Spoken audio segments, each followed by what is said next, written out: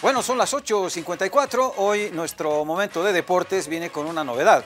Eh, tenemos un rostro nuevo aquí que nos va a acompañar en estas mañanas.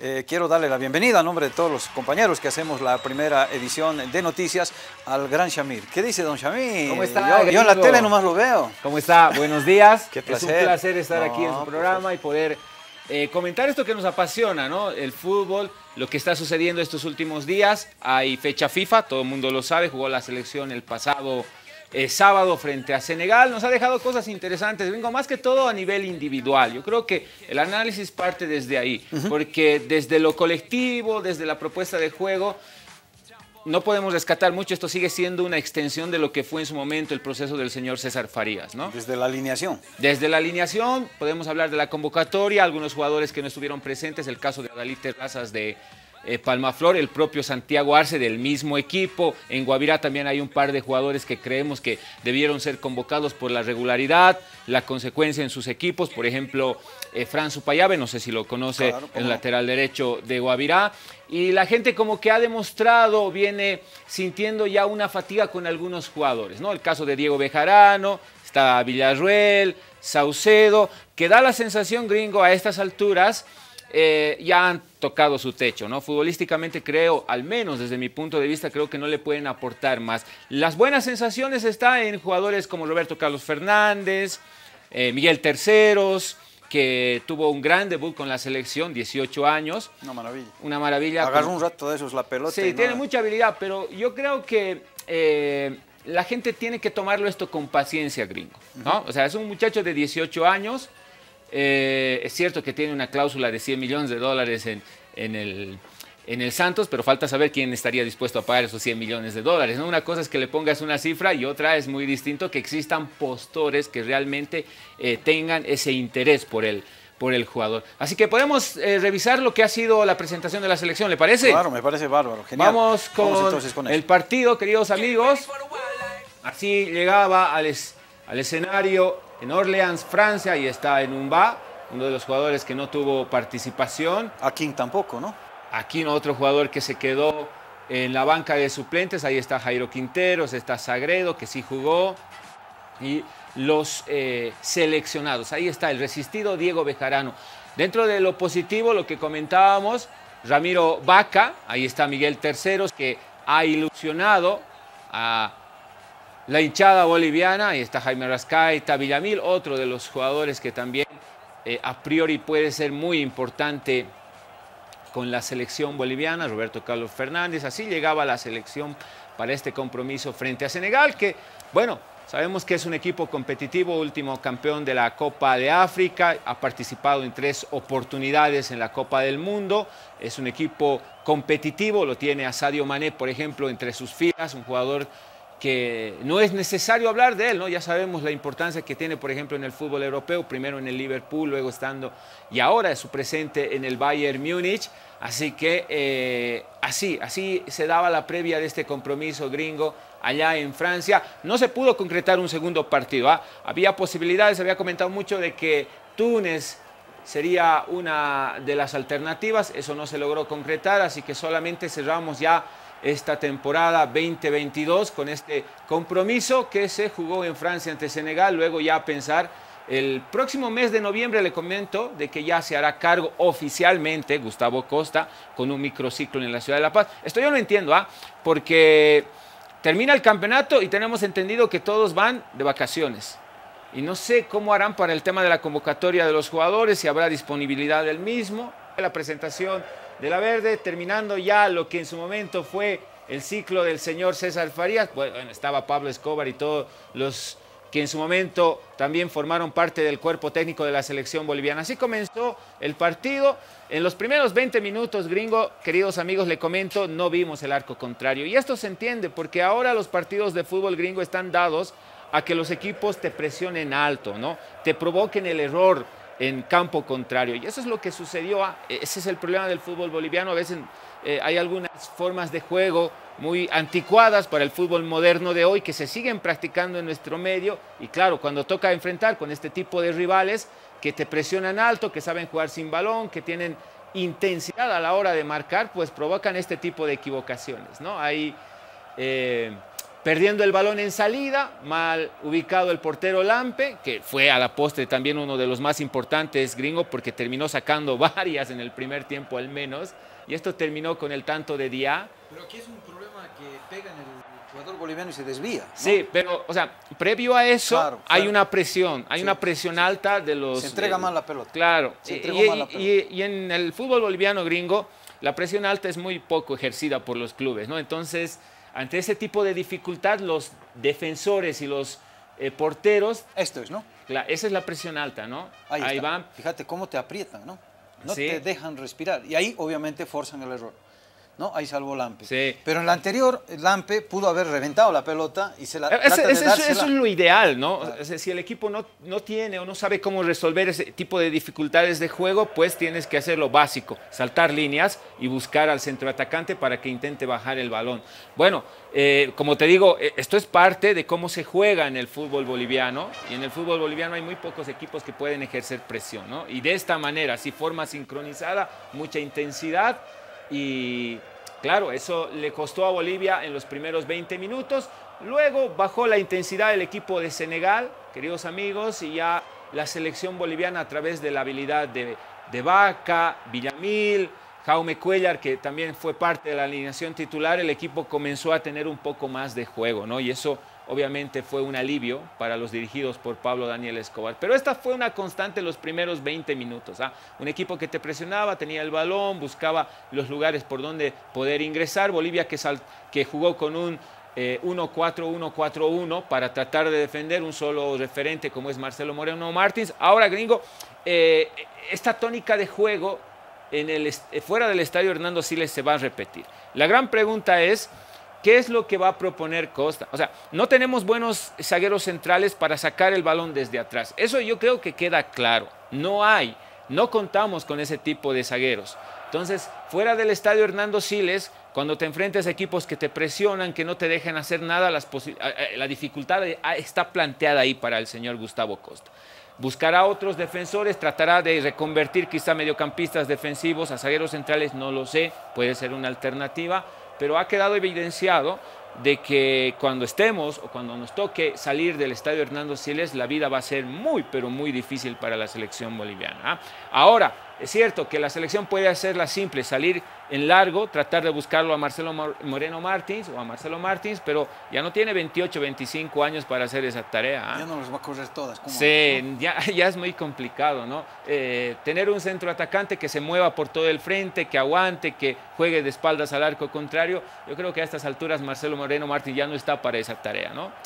Por una cuestión natural, ¿no? Porque todos no podemos ir en contra de las leyes envejecemos y Marcelo Moreno Martins ya tiene 35 años y esa tarea es muy complicada. Después el equipo de Senegal retrocedió un poco, le dio más el balón para aplicar esto, los contragolpes tienen velocidad, ahí está Sadio Mané que siempre es una alternativa a la hora de poder eh, concretar contragolpes y el que más sufrió fue Diego Bejarano y se entiende, ¿no? Poder defenderlo a uno de los atacantes más importantes del fútbol mundial es una tarea que no está al alcance de, Bejarano. Y también... esta, es una linda mano, la de Lampe, ¿no? Sí, la saca.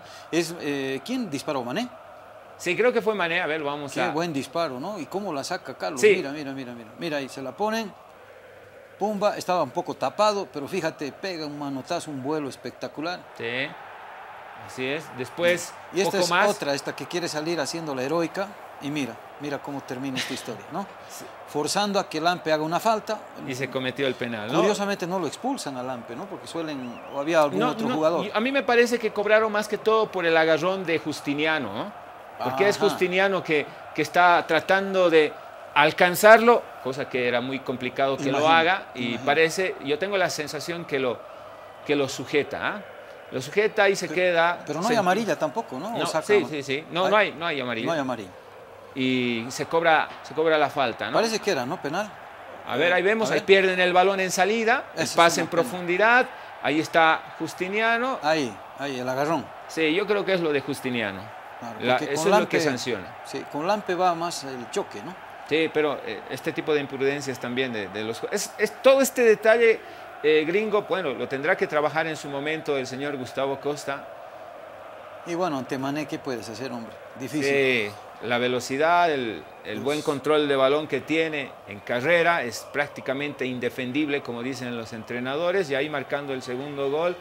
Esperábamos de que este partido quizá tenga un poco más de dinámica por parte de Senegal, pero Senegal que ya había manifestado en la previa a algunos jugadores, el caso de Mané, de que no estaba tan contento con el rival, esperaban un rival de mayor fuste, de mayor exigencia. ¿Qué se puede hacer? Es lo que hay. Seguramente les respondieron los de la Federación de Senegal y ahí, se está marcando el segundo gol. Ya en el segundo tiempo, cuando se hicieron las variantes, ingresó eh, más que todo Miguel Terceros dejó muy buenas sensaciones, ¿no? Por el atrevimiento, a la hora de tomar el balón, buscar a sus compañeros, eludir rivales. Eso es positivo, gringo, pero yo creo que, y lo vuelvo a reiterar, hay que ir con, con tranquilidad, ¿no? Un solo jugador no nos va a sacar de este hoyo de mediocridad en el que estamos ya hace muchos años.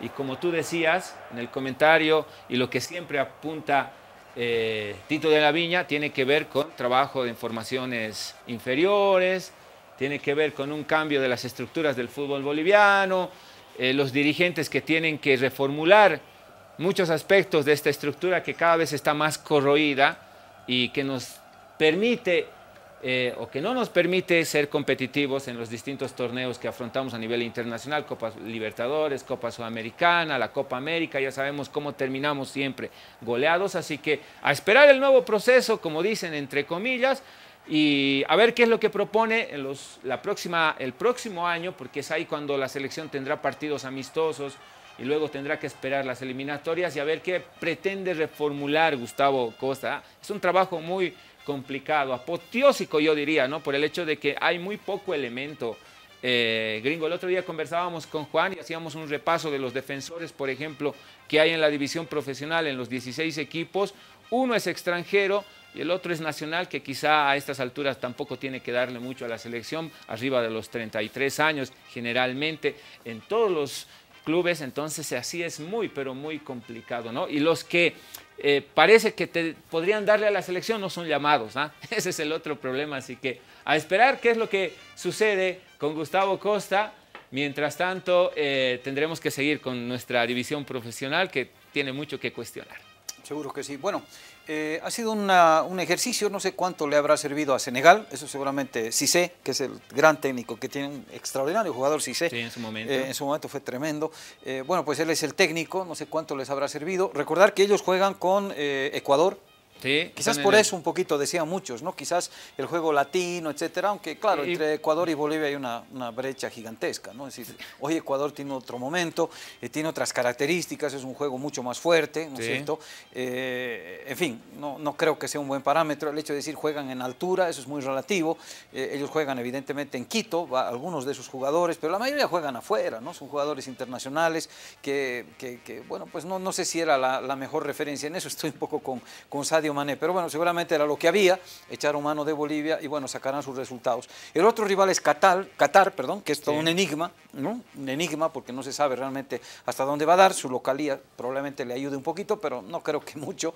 Y eh, Países Bajos, ¿no? que, ese ya obviamente es otro nivel, hay unos jugadores extraordinarios con los cuales Senegal eh, seguramente va, a tener. Eh, yo calculo que la disputa va a ser entre Senegal y Ecuador por el segundo en el grupo. es lo más probable. Creo que Países Bajos debería entrar, ¿no? Por la categoría de sus jugadores y tal.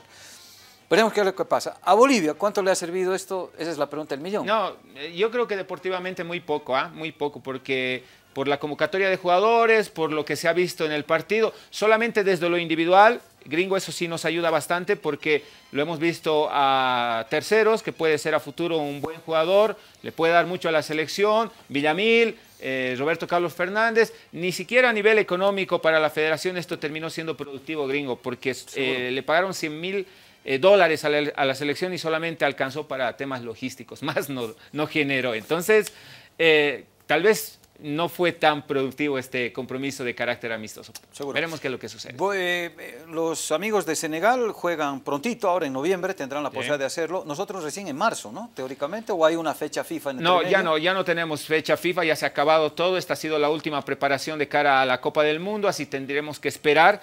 Eliminatorias. Sí, la próxima, la próxima campaña, fechas FIFA y después las eliminatorias, pero sí, lo, vuelvo a reiterar, gringo, eh, habrá un microciclo, pero no sé cómo van a llevar a cabo este microciclo cuando se supone que los jugadores todos se van de vacaciones y ya luego esperando la próxima temporada. Claro, es un poco para justificar el contrato de costas, ¿no? que se lo hacen a noviembre, sabiendo que en noviembre no va a estar nadie, en diciembre menos.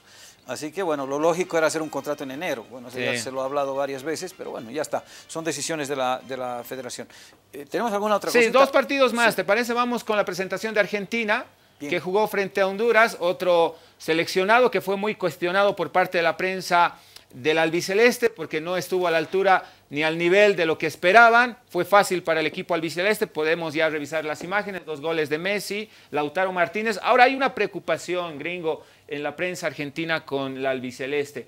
Eh, de todos los partidos que ha disputado la selección argentina al mando de Scaloni, el 50% de los goles han sido marcados por Messi y por Lautaro Martínez. Y la pregunta está ahí, ¿qué pasa si uno de estos dos jugadores se lesiona? No hay recambio, no, bueno, no hay otro, otros jugadores que puedan darle esa capacidad goleadora que ha mostrado hasta el momento. Recordemos que ya son más de 30 partidos que Argentina está invicta Claro, de momento todo es color de rosa en eh, el albiceleste, así que habrá que esperar cómo inician en la Copa del Mundo. Lo cierto es que este partido lo ganaron con mucha facilidad por tres goles a cero. Primero Lautaro Martínez, aquí está el tanto de Messi que anotó de penal, muy bien ejecutado por el astro que ahora defiende la casaca del Paris Saint Germain. Este partido que se jugó en Florida, en los Estados Unidos.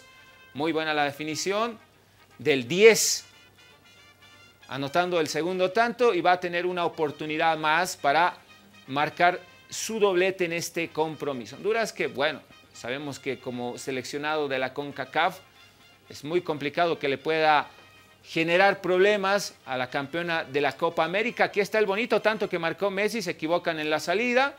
Ahí está Messi para hacer una vaselina, ejecutar una vaselina y marcar el tercero en esta victoria por 3 a 0 sobre Honduras. Ahí está Messi, contento y feliz. Porque ahora sí tiene esa importancia y esa relevancia que durante tanto tiempo le han exigido a Messi. Claro. ¿No? Claro, ahora Messi se hizo un picnic frente a Honduras. Sí, quiero verlo, quiero verlo en el Mundial, ¿no? Donde le van a poner seguramente. Yo recuerdo, mira, Maradona en el Mundial del, del 86, cuando jugaron contra Corea.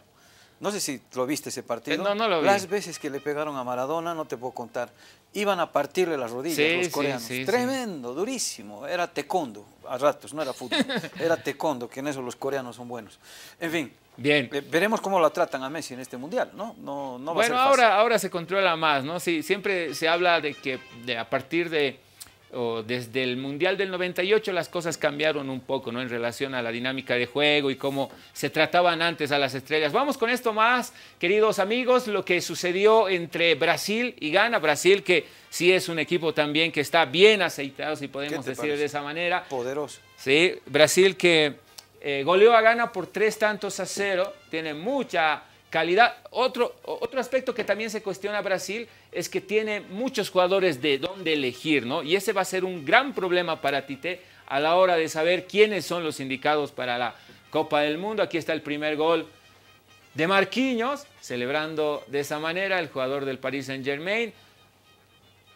Y luego va a aparecer Richarlison, una jugada rápida, una gran definición, no da tiempo, o sea, los defensores no tienen tiempo para hacer nada porque fue de primera intención la, eh, resolución de la jugada, y ese es el primero, ahí está Neymar, que está mejorando en su aspecto físico, es un jugador muy importante para la Canariña, y así se anotaba el segundo tanto del compromiso. Y luego Richarlison nuevamente va a marcar el 3 a 0 definitivo, una Brasil que eh, hizo notar su, su supremacía, si se puede decir de esa manera. 21 remates contra 7 solamente de, de Ghana. Ghana que también es un equipo mundialista, una selección mundialista, pero claro, estamos frente a la Scratch, ¿no? El equipo más campeón de, este, de la Copa del Mundo. Nueve remates a portería contra uno. A ver, en pases gringo, 622 pases la Canariña contra 358.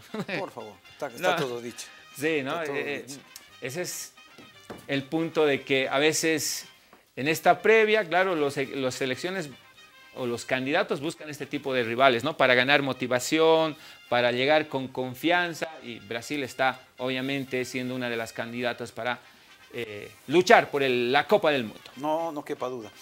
Eh, ¿Te has enterado de lo de Atlético Tucumán, me imagino? Sí, sí, sí. ¿Tienes algo o nada? No, no consiguieron las imágenes. No, no, no. Hoy, hoy nos hemos enfocado en los partidos. los partidos de la, de, la, fecha FIFA. Correcto, eh, porque lo saben, ¿no es cierto? El equipo de Lampe, sin Lampe, Lampe está seguramente retornando ya desde el viejo continente, eh, le ganó a Estudiantes de La Plata 3, a 1. 3 a 1. Yo pensé que le iba a dar más batalla a Estudiantes, pensé que no iba a tenerla fácil, creí, creí que este iba a ser uno de los partidos difíciles, pero fíjate tú, eh, curiosamente el equipo tucumano empata con Talleres en, su cancha, ¿verdad? Y ahí resigna.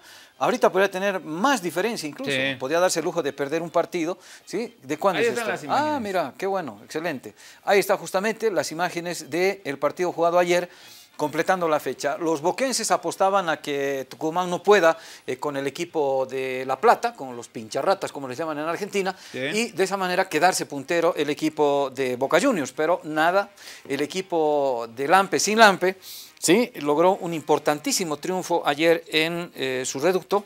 ¿Sí? Ahí está Zelinsky, justamente el técnico de, Estudiantes de La Plata.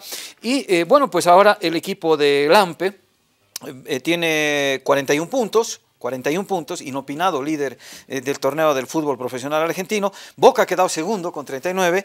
Luego están con 37 Racing y Huracán. Gimnasia y Esgrima, que estaba ahí cerquita, eh, prácticamente pisándole los talones al equipo tucumano, se cayó, ¿sí? tuvo un par de tropiezos y se ha bajado, pareciera, ¿no? de la pugna. Eh, quedan seis fechas, ¿no? Seis fechas para que culmine el próximo domingo. Atlético Tucumán va a enfrentar a Patronato. De partido, en teoría, accesible. Pero esos son a veces los peores. Sí. Eh, es que la presión es constante, ¿no? Está Boca ahí persiguiendo y, y quién sabe, ¿ah? Pero bueno, lo importante es que se ganó este partido, están líderes, así que a esperar la próxima jornada, la fecha 22. Recordemos que en la fecha 27 culmina eh, el torneo argentino, esperando de que se mantenga lo más alto Atlético Tucumán y tengamos un campeón, boliviano en el fútbol argentino. Sería buenísimo. Eh, no sé si esto ha sucedido antes, no, no lo recuerdo. No sé si con Melgar pasó eso. No, no lo recuerdo, vamos a revisar. Vamos, a revisar. Melgar en Boca quizás, ¿no? Melgar en Boca porque Melgar estuvo en los dos, en Boca y en River. También. Ramiro Castillo estuvo en River, pero no sé si ese año River logró ser campeón. Y punto, ¿no? Cabezón que estuvo en Independiente, pero no, no fue campeón. Algunos en gimnasia y esgrima, pero no creo, de Jujuy, pero no creo. Y por ahí va la, por ahí va la cosa, ¿no? Sí, felicidades a, Carlos Emilio Nampe que ha insistido tanto, ¿no? Tal vez en algún momento no ha tenido esa oportunidad de ser titular, le pasó en Boca, en Vélez y ahora teniendo este protagonismo y ojalá que el objetivo se cumpla y que salga que salga campeón. Ese es el deseo de todos los bolivianos. Seguro que sí. Me imagino que ustedes en amateur están pasando la Copa Libertadores de futsal, ¿o no? Sí, a ver, ayer San Martín. Perdimos ayer. Por la mínima diferencia. Qué pena, yo lo estaba viendo el partido, estaba pero 0 a 0. Pero aún hay chances, ¿ah? hay chances de poder eh, clasificar a los, a los cuartos de final. Ahorita juegan en un ratito. Sí, va a jugar con, con el equipo colombiano, se me fue el nombre, pero tendrá hoy su, su participación, así que las chances están todavía ahí dadas para que San Martín pueda acceder a una siguiente instancia. Correcto. Comenzó bien, comenzó ganando a Barraca Central, ¿no? Al, local. Sí, al local, al, cuadro argentino. Exacto. Y ojalá que tengamos una victoria hoy. Hoy tendremos los goles de lo que sucedió. Eh, y esta derrota hay que revisarlo. No, no, no queda otra. Así Estaba bien, estaban apostando al cero. Me lo comí enterito el partido, lo vi ayer por la tarde. Y estaban apostando al cero y venía bien, estaban aguantando, aguantando, aguantando. Y un descuido, un errorcito, y eso significó el tanto de los venezolanos. Perdieron con los venezolanos, ¿no? Los, los ¿Cómo se llama? O sea, ganas a, ganas a, los argentinos y no puedes ganar a los venezolanos. es, es, una cosa extraña, ¿no? Fue, fue, muy raro, pero bueno, en fin. Esperemos que hoy, ante Colombia, a las 11 entiendo que comienza el partido, ¿sí? un poquito más de una hora. Eh, esperemos que en esa oportunidad, eh, incluso un empate, según ciertos resultados, hasta un empate, porque van los dos mejores, ¿no? Los los dos primeros van a, a la Los dos están con cuatro puntos. Exactamente, exactamente. Así que esperemos, esperemos, que sea un resultado positivo, ¿no? Para seguir pensando en una siguiente fase. Seguro que sí. Eh, Shamir dice que hay unos, unos mensajes, ¿sí? A su fanaticada, a su club de fans, no sé quién será. A ver, vamos a ver qué dicen los mensajes. Me sorprende, me sorprende. Sí, a ver, a ver qué dice. Saludos gringo y qué bueno verlo al talibán en el sector deportivo. Sigan adelante, saludos desde Oruro y viva San ah, José. Ah, ¿cómo se extraña San José, gringo? ah? ni me digas. Sí, ¿cómo se extraña? Ah, y están preparando, están queriendo participar en, la, en el futsal, también quieren participar en el volei y en el fútbol de playa. Los dirigentes, sí, los, de, los dirigentes. ¿Y fútbol? No se puede, ¿ah? Pero tienen una deuda de la cual no se salvan ellos. están conscientes de aquello. Qué lástima, el daño que le han hecho a Duro, el daño que le han hecho al fútbol, al San José, ni qué te cuento, ¿no? Y ojo que esto también está pasando con Bilsterman, ¿ah? Sí. Pasó con Real Potosí, está sucediendo también con Blooming, que tiene una deuda tremenda. Entonces, los males del fútbol boliviano tienen un solo nombre gringo, son los dirigentes. Qué pena, qué tristeza. Bien, un abrazo. Eh, talibán, te dijo, ¿no? Sí, ah, bueno, así me dicen en el, en el programa. Ah, mira. El talibán, bueno, así llegué al deportivo, ¿no? Como, el, talibán. Mira, aquí qué dice. Shamir Gusano Verde, te tocó madrugar, dice, jaja, un saludo y que tengas una jornada excelente. Gracias a los amigos que nos mandan sus comentarios. Gusano Verde. Eh, gusano Celeste. Bueno no, bueno, no sé ahora por qué Gusano Verde, ¿ah? pero... no, cambiaron. Sí, hay varios apodos que tenemos en el deportivo, ¿ah? Ya, correcto. Ahí está. ¿Hay alguno más? Sí, uno más. Ahí está, mira, todo un éxito, Shamir, aquí en la, en la primera edición. ¿Qué dice? Buenos días, gringo, y a todos en el programa con respecto a la selección. Al margen de ver varios eh, chispazos de los juveniles, creo que ahí estaban convocados varios que ya no deberían ni siquiera estar en el fútbol profesional. Por ejemplo, Bejarano, Martins, Justiniano, Villarruel y algún otro. Se debe dar de una vez paso a los juveniles que mostraron capacidad, dice el amigo, la amiga que nos ha escrito. ¿sí? Eh, muchísimas gracias por esos mensajes. Bueno, Shamir. Ha sido un placer, gringo. Mañana estamos. Muchas gracias. Estaremos acá de nuevo viéndonos para seguir hablando un poquito de los deportes. Esto que tanto nos apasiona, pero a la vez nos hace sufrir. Sí, más que todo sufrir. Parte de cierta Al menos cuando juega la selección. Es, un, sufrimiento. constante. Mañana hablaremos del Always, me imagino, ¿no? sí, sí, va a jugar el miércoles a partir de las 15 horas, fecha reprogramada con Royal Party. Always Ready que posiblemente lo tenga, bueno, va, lo va a tener en su banco de suplentes a Oscar Villegas, que es el que ha tomado el mando. Que si le gana Royal Party se va a quedar. Ojalá. Porque eso de cambiar eh, constantemente entrenadores ha sido la principal crítica hacia la directiva. ¿Se está hablando de algún nombre fuera de Villegas? La idea era que Godoy sea, pero se les cayó y ahora eh, lo que hemos podido averiguar es que, como usted dice, va a depender mucho de este partido para tomar la decisión final de que Villegas se quede al mando del primer plantel. Se había dicho Cristian Díaz en algún momento. No, no es difícil, es difícil. Cristian Díaz, se habló, incluso se habló del propio Ervin Sánchez, usted puede creer. Claro, sí, sí, sí, sí, recuerdo, recuerdo. Para que vea que tan descabellados son los comentarios, ¿ah? Seguro, seguro que sí. Bueno, eh, Shamir, otra vez gracias. Mañana nos estamos reencontrando. Buen amateur a las 12, ¿no? 12 del mediodía. Invitamos a todos los amigos a que nos sigan. Y luego con Pastén a la una y media. Y estamos con eh, nuestro director en el Deportivo, el número uno de los deportivos. Buenísimo. Ha sido un gustazo, Shamir. Igualmente. Que tengas un lindo día. Igualmente. Hasta mañana. Bien, vamos a 9.45.